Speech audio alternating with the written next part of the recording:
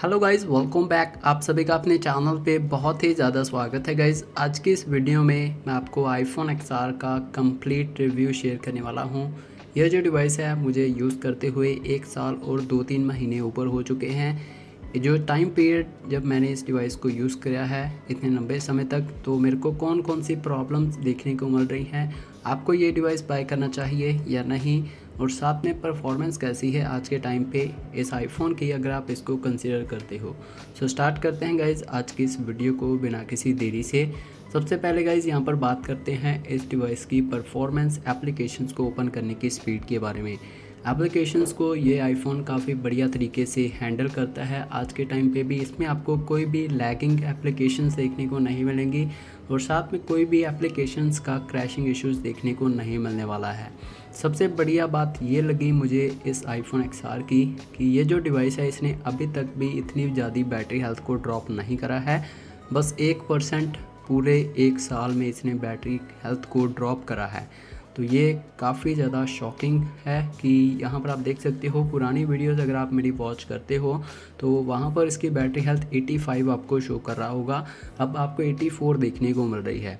तो ये एक परसेंट बैटरी हेल्थ इसने एक साल में ड्रॉप करी है, जो कि काफ़ी बढ़िया है आईफोन एक्सआर के लिए, जो डिवाइस मैं यूज़ कर रहा हूँ।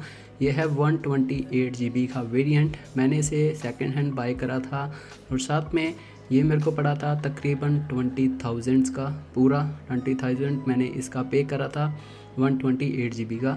अगर आप सिक्सटी फोर जी बी की ओर जाते हो तो उसका प्राइस आपको थोड़ा सा कम देखने को मिल सकता है। यहाँ पर आप देख सकते हो twenty nine point twenty two GB use use रखी है वन ट्वेंटी एट जी बी में से।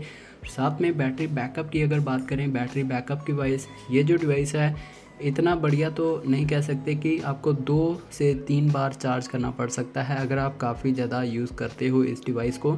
ऐसे कि मैं इसको वीडियो रिकॉर्डिंग के लिए यूज़ करता हूँ और कुछ सोशल मीडिया एप्लीकेशंस को यूज़ करता हूँ अपने इस डिवाइस पे। तो दो बार चार्ज करने से मेरे को काफ़ी बढ़िया बैटरी बैकअप देखने को मिल जाता है।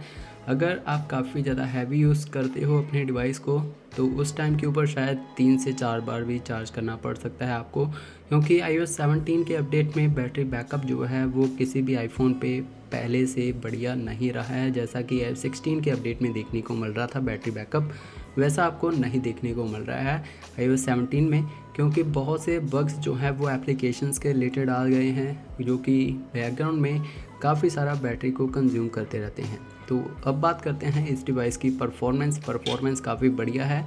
तो यहाँ पर रीस्टार्ट जो प्रोसेस है इस डिवाइस का, वो भी काफ़ी तेज़ है। इतना टाइम नहीं लगाता है रीस्टार्ट करने में ये जो डिवाइस है। तो यहाँ पर अब बात आती है इस डिवाइस में सेलर के बारे में, यानी कि नेटवर्क्स के बारे में। नेटवर्क्स कैसे काम कर रहे हैं? नेटवर्क्स जो हैं वो काफ़ी बढ़िया काम करते हैं इस डिवाइस पे। कोई भी इसमें आपको वाईफाई का पुअर कनेक्शन इशू देखने को नहीं मिलेगा और ना ही आपको ब्लूटूथ में कोई यहाँ पर बग्स देखने को मिलने वाले हैं। और साथ में यहाँ पर अगर बात करें इस डिवाइस में हीटिंग की हीटिंग इशू आपको देखने को मिलेगा इस डिवाइस पे। क्योंकि वैसे ही आजकल गर्मियों का मौसम है, गर्मियों में हर कोई आईफोन ही हीट करता है तो ये भी हीट करेगा ही करेगा। ये सबसे ज़्यादा हीट करता है, मैंने नोटिस करा है। तो ये जो पार्ट है आईफोन का, वो सबसे ज़्यादा हीट होता है। जब ये गर्म हो जाता है, काफ़ी ज़्यादा यहाँ से सबसे ज़्यादा हीट होता है। तो ये जो हीटिंग इशू है, आपको आईफोन एक्स आर पे देखने को मिलने वाला है। इन सभी बातों को आपको ध्यान में रखकर ही अगर इस बाई फ़ोन को बाई करना है तो भी बाई करना है।